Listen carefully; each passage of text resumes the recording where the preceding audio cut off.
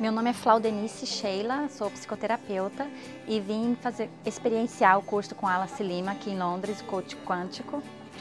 E estou muito encantada, muito agradecida, tive uma experiência magnífica, uma paz, uma realização interior, uma motivação imensa.